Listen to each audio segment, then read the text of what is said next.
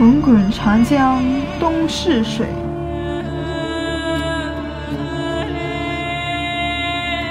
浪花淘尽英雄。是非成败转头空，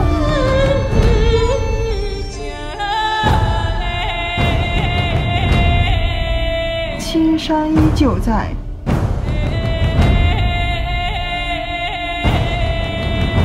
度夕阳红。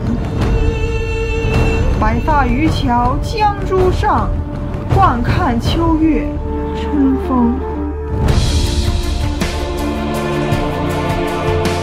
一壶浊酒喜相逢，古今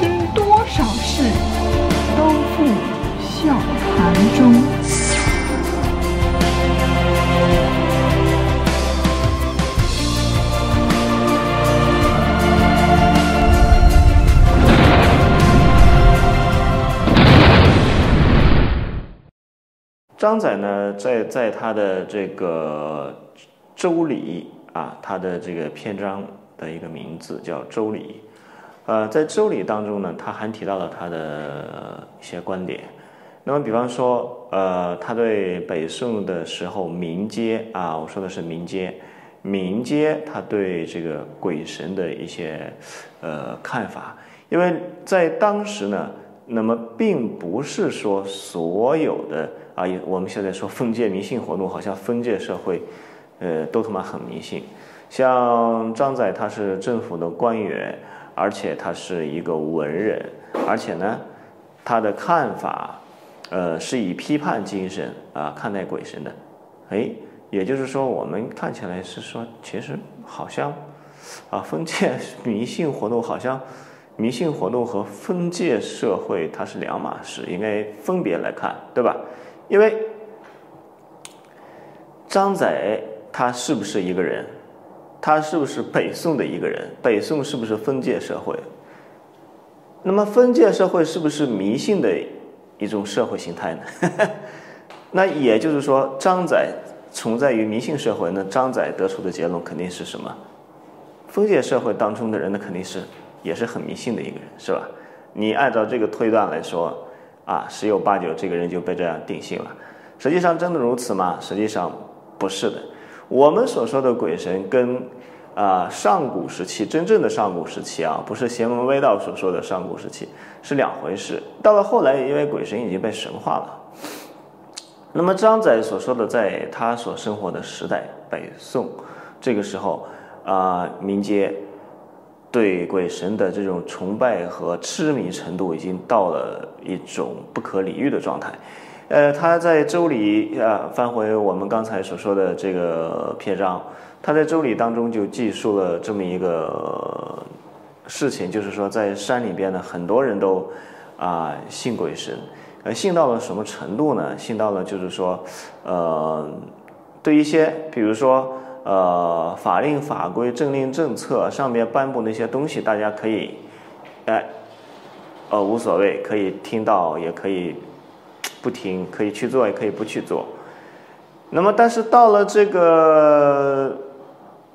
如果有鬼神这个事情出来的话，比如说有人去讲这么一个事情，啊，在当地有点威望的人去说一说，去讲一讲，那么信之十有八九啊，大大多数像是信的。那么在这个用周礼来看的话，那十是四啊，以为下意，就是说如果说。你的威望、权力，或者说一种政策法规，十个人里面有啊，我打个具体的不恰当的比方，呃，大而化之的话，那可以说的很大。但是如果说我们就拿人来比方，十个人有四个人啊，对你这个东西表示无所谓的话，那这个东西可能已经真的无所谓了啊，不是说十个人有六个人或者五个人，那么他是说四个人。十有四啊，他这么说的。那换成我们现在的话来讲，就是说，这个东西如果说很多人群体当中的一少部分人，啊，不是凤毛麟角，不是十个人里面有一个人啊，百分之四十的这个占比的话，已经对你没有这种，就是说他老百姓对你没有这种啊寄予厚望，或者说不想无所谓的话，这个东西已经失去了它的价值了，对吧？那在北宋的时候，张载就做出了这样的一个判断，所以说，呃，他说呢，这个这导致这些现象的原因，实际上，那么还是出自自于这个，就是人民民间人民啊，老百姓对他自己的这种，呃，申诉得不到啊。呃，政府和一些政策的民众的肯定，呃，做不到一些自己能够呃让自己的生活啊各方面得以这个，对吧？生活起居，呃，得到这个一些很好的帮助啊，对于社会各个阶层来讲，所以说呢，大家觉得那与其这样，啊，还不如，呃，另想办法，另想办法就是生之与神啊，就什么办法呢？就这个办法。就是我，就是不知道怎么才能好，反正上面对我们来来讲是压力特别大，所以呢，我想到一个办法，就是求助于神明。那么这种神明，我们管不管用，呃，那是另一回事。那我们现在单单谈到的是，他是在没有办法的情况下的办法。那么，但是这样的人，十个人里面有四个人已经这样想了。那对于周礼啊而言，那已经是